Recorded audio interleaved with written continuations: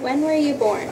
I was born November the 10th, 1930, Where were you born?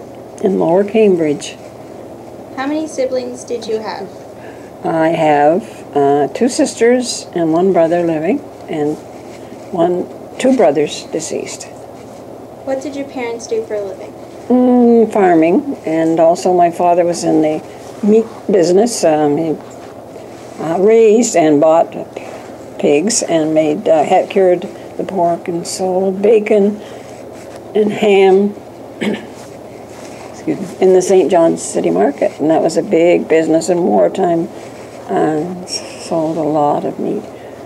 And then he also bought animals. Uh, went around the county buying like cows and pigs and yeah. Um, where did you go to school? Well, I started out in Central Cambridge, and that school isn't there anymore. And I went from grade one to nine there, and then I went to high school at Gagetown. It's called Gagetown Grammar School, and I graduated after grade. I took ten and eleven. Graduated at the end of grade eleven. There wasn't any grade twelve in those days, and then from there um, we had to write entrance papers provincial papers, and uh, if we passed those, we were eligible to go to teachers' college. And so I went there and uh, graduated from there in 1947. Did you have a favorite teacher when you were in school? Well, at the elementary uh, school, I mean from grades one to 9, uh, had Ethel Smith. She was Ethel Black from Cambridge, and uh, she married Gerald Smith, and she was my teacher for three years. And in those three years, because I was the only one in the grade, we had very small enrollment in the school. I took uh, grade four, and the next year I took five and six together, and the next year I took grade seven. So I took four grades in three years. What was school like when you were young? Well, as I said, there were so few of us that we, didn't do the things that you people do. Of course, we didn't have uh, any extracurricular uh, subjects or any, but we had a good time. We liked school and always wanted to go. And we played. I played our own little games and like in the wintertime when it was cold, we'd play knicker knocker and uh, um, let me see now ring on the string let me see and I can't think now hopscotch we would draw the hopscotch board at the front of uh, form on the front of the floor at the front of the school I'll get it right and uh, we played hopscotch a lot and then out in the summertime we'd play Haley over do you know what that is one group would stand on one side of the school and the other, and you'd throw the ball up over the school, and you'd call out Haley over, and uh, so they'd be ready to catch the ball on the other side. And uh, oh, we played, tried to play a little bit of just bat the ball, but we didn't have enough to play, you know, a ball a team. But we always had a good time. Uh, how was school different from uh, back then till now? Well, we we didn't have all those extra things that you people are doing, so I think we spent more time in our subjects. You know, they Yeah. three R's uh, than you do probably. But uh, and we had a very small library, just one little case at the front of the school, and we would have library period once in a while, and we tended to get the same books and read over because there wasn't. A, but uh, and we had an organ in our school and uh, Mrs. Smi- Mrs. Black, Miss Black, she was then. She could play the organ, so we did some singing with her. What was home like growing up? Home, um, well, we had a good time at home, but we were brought up. I always say we were brought up young to be very mature in, in our work. We always had to work, and uh, by the time I was 12 years old, I could keep house the same as I can now. S- Um, we had a baby sister who, uh, our mother was sick, and so we had to take care of her, even nights, getting up and getting her bottle warmed and all those things. That, so we grew up very young. And then the summertime, of course, we had to pick berries and beans and potatoes and all those things like you still have to do. Who was your best friend growing up? Well, we were such a um, school was so small that I uh, one of my best friends left when I was in grade three, and uh, Marguerite Thorne, her name was. She's Marguerite Jolks now. She lives in Fredericton.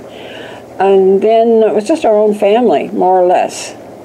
There was another girl, uh, Gwenny, Gwendolyn Pugsley, she was now. She's Gwendolyn Monahan from Hampton. And then my cousins, of course, were best friends too.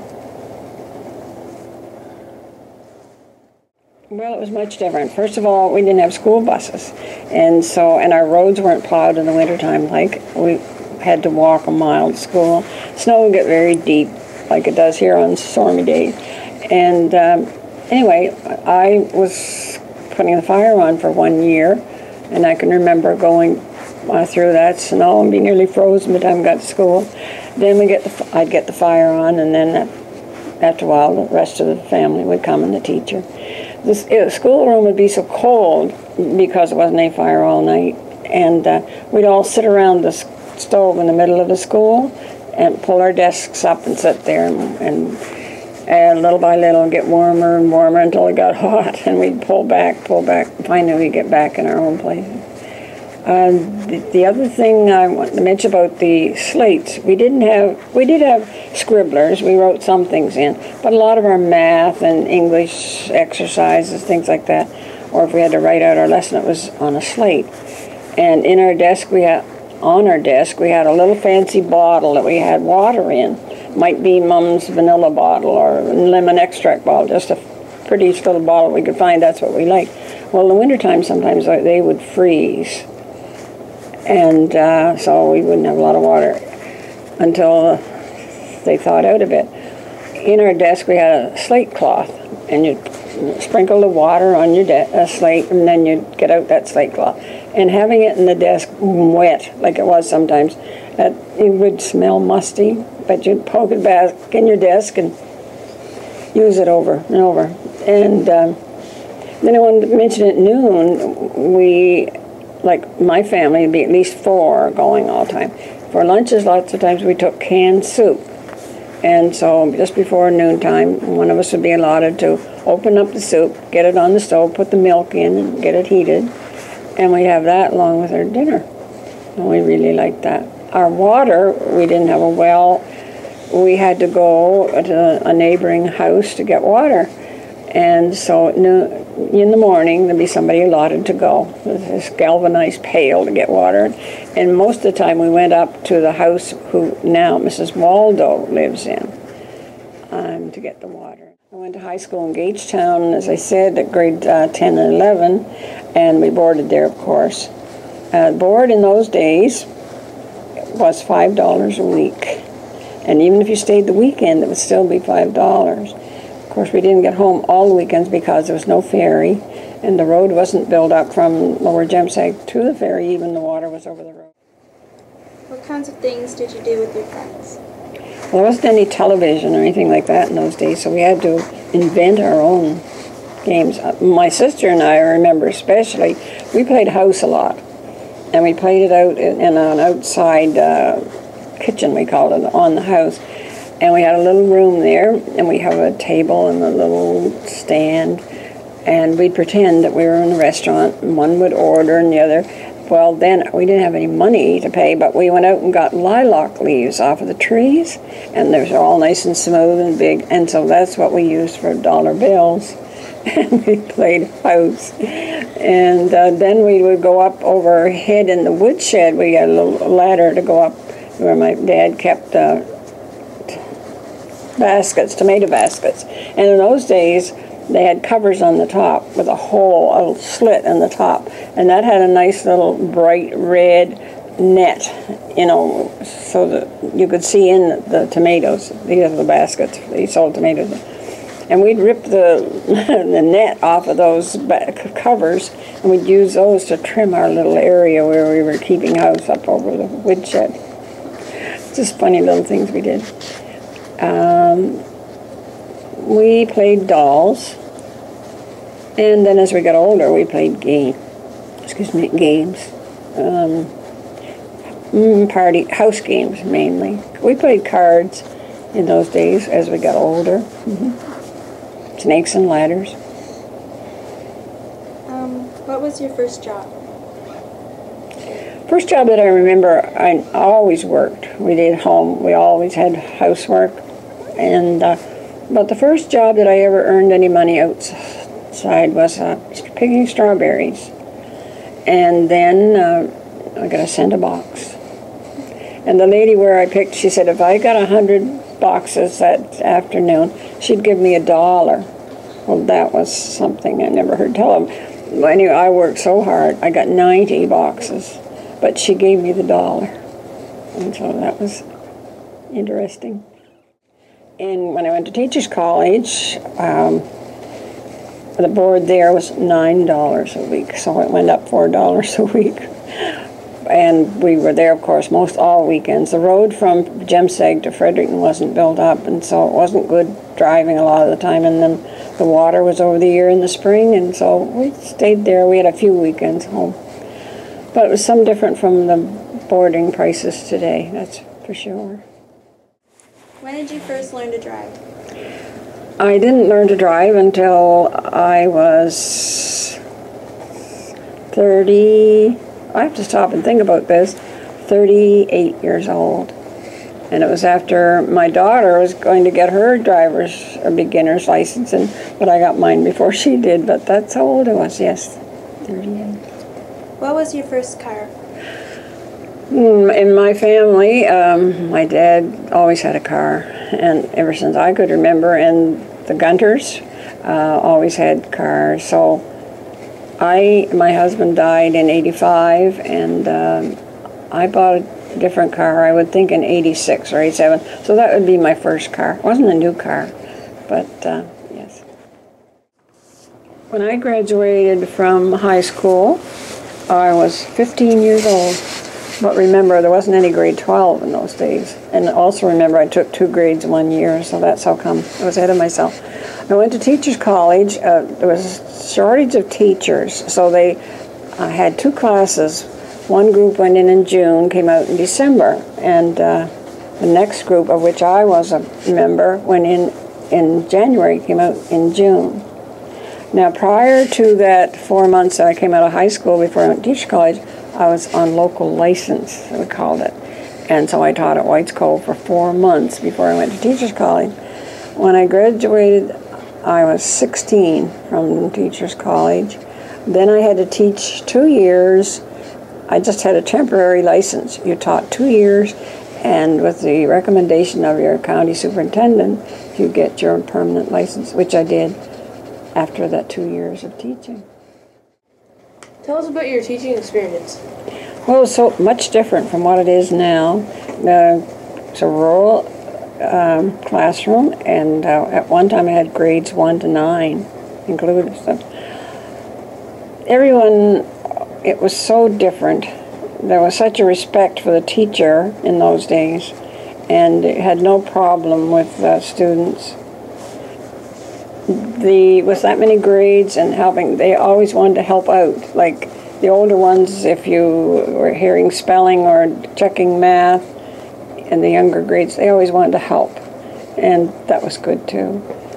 Um, at christmas we always had a christmas concert and uh, they wanted to do that so bad and i talked to them about it and said well to practice uh, we don't have a lot of time but you know, we could stay after school and practice. Well, they were all agreed to that. Now, school went in at 9 and didn't get out till 4. So after that, they would uh, want to practice or recess or noon or something like that. And we had a great Christmas concert. I remember the first one we had. That was when I was still on local license. Um, and the hall, we had it in the hall at night, and the hall was packed with all the friends and relatives and uh, that was a big event. Santa Claus arrived and distributed presents. Yeah, it was a good time. What did you do on your free time? Well, I don't know what I did. um, as I said, in summertime, you mean in school, the free time, or just regular? Just regular free time. Oh, we would swim in the summertime. And uh, I don't know, there was always weeding to do or, you know, or housework to do. Yeah, it was, um, I can't remember, we, when our cousins would come, like on the weekends, we'd play games outdoors, hide and go seek. We played, uh, and we played that would be almost dark, and everybody'd be hiding behind buildings and you know out there trying to find people. It was exciting. Did you play any sports when you were young? Not a lot because we never had enough to play any real sport. We skated in the wintertime, and uh, we had a lot of bonfires. And I don't know you ever, you people ever went to a bonfire or not, but somebody would gather wood along the shores and put out on the ice a big and lot pile, and then they'd light that, and everybody gather, stand around the bonfire. Not a lot because we never had enough to play any real sport. We skated in the wintertime, and uh, we had a lot of bonfires. And I don't know you ever, you people ever went to a bonfire or not, but somebody would gather wood along the shores and put out on the ice a big and lot pile, and then they'd light that, and everybody gather, stand around the bonfire and get warm, then go out and skate, come back and warm up again, and that was a big thing. We'd take our skates off at the shore, or sorry, take our boots off at the shore and leave them on the shore, and uh, then we'd skate an hour, two hours maybe a night, come back to get our skates off, and our boots would be frozen almost, you know, get in those cold boots and get to the house. What kinds of stores were there when back when you were young? Well, I lived in central Cambridge, which is about nine miles from Cambridge down Western White. Um, the only stores I remember was one at Jemseg, Stan Dykeman's General Store, and there was one here, one or two in Fred in Cambridge. Uh, Gordon Robinson had a store where that restaurant is now and just below um, where the post office used to be, there was a store there too. And those are the two stores I remember. Which which store was your favorite?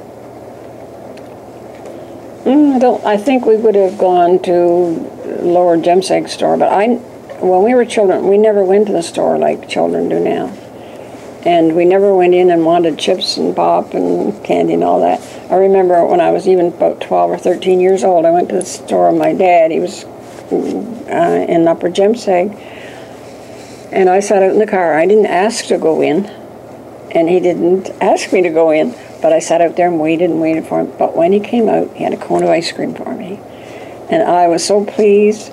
You know, it's so different now, isn't it?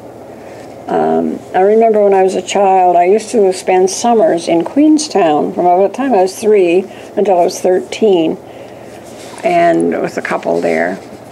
I used to go up to the store there. It was a general store, but the thing I remember about that was they had a big glass case. You just went in the door, and it was on the counter. It was probably five feet long and four feet wide and three feet high. But you could look in that case, and it was filled with all kinds of candy in little boxes. And you might have five cents to spend or whatever, but you could get three pieces of candy for a cent. So you'd have three of this kind, and three of that kind, and three of another kind. So you could get a lot of candy for five cents. And I that was McKinney's store. And Douglas McKinney now lives in Queenstown. Uh, he doesn't own the store. In fact, that isn't even running, operating anymore.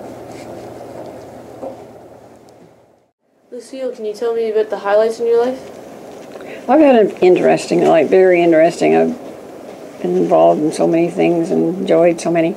I worked after my husband died in '85. I uh, went to work.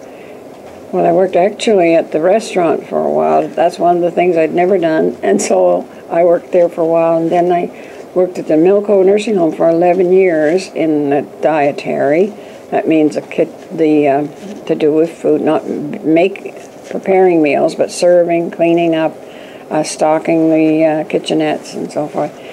I worked there 11 years casually, but at the end, the casual turned into almost a lot of hours. I enjoyed that. I enjoyed the the residents of the home, and uh, they were always uh, glad to see you, and it was it was really a good job.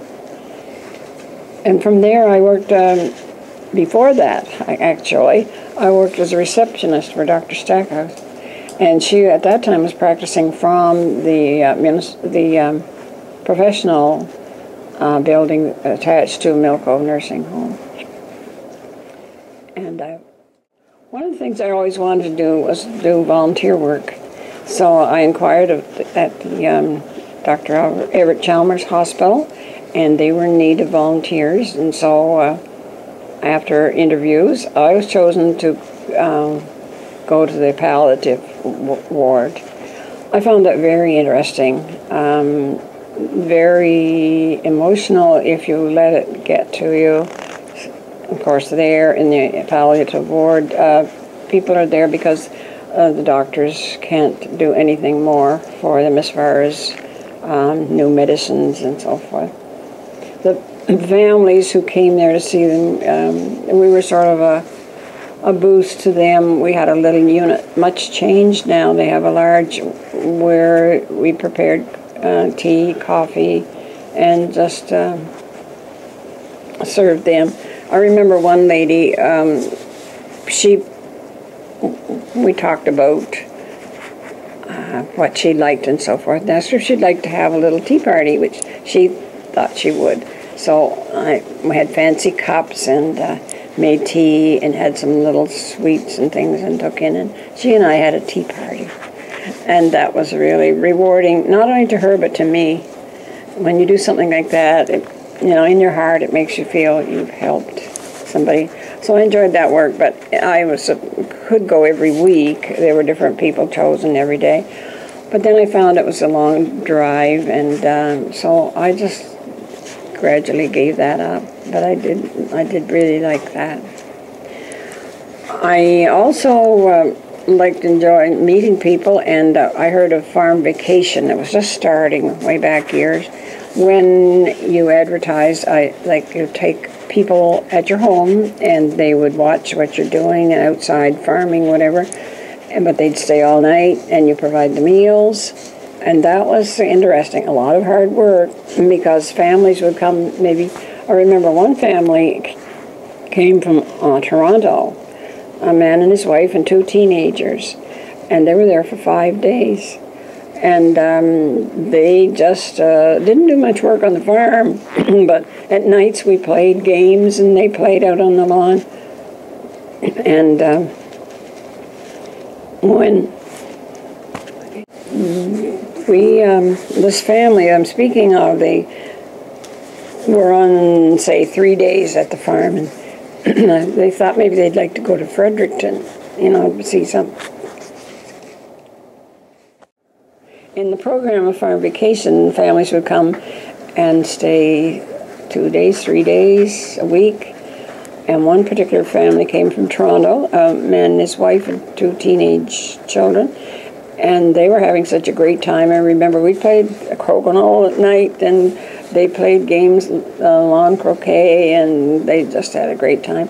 And of course, they enjoyed the meals. The parents thought maybe about the midway through they'd like to go to Fredericton and see what was going on up there. No, they didn't want to go. They didn't go. They just wanted to stay around with us. But it was just like a big happy family. The other one that I might mention is um, a family came from United States, and uh, he did go out and help a little bit. but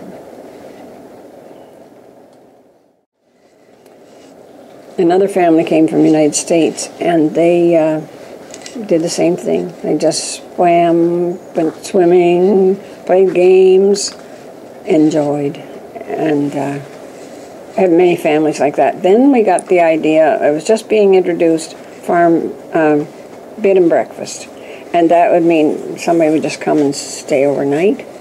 And so we advertised. Uh, well, I should say, even before the province knew about it, if they had some tourists wanting to just stay in a, a country home overnight, they would call us and they didn't call it bed and breakfast then really, but they wanted to know if we would take them for the night, which we did. Then, as I say, um, bed and breakfast was. Thank you for the interview, Lucille Gunter, and I hope you enjoyed the interview. I did very much, and thank you for asking me. I really enjoyed, and I hope that there'll be some things that you might look at and think, well, wasn't so bad after all those years. Thank you.